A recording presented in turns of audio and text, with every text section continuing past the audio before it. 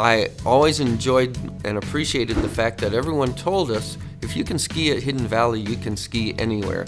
And that didn't really mean much to me until my friends and I started going to other ski resorts in uh, Colorado, places like Keystone and Copper Mountain and Winter Park, where everything was groomed. And then we knew what they meant.